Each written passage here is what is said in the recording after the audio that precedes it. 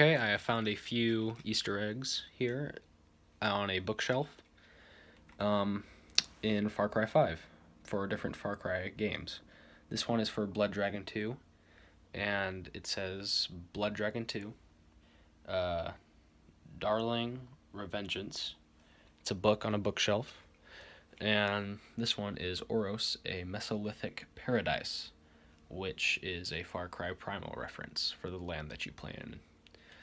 Um, so yeah, I thought that was interesting, and I thought I would share.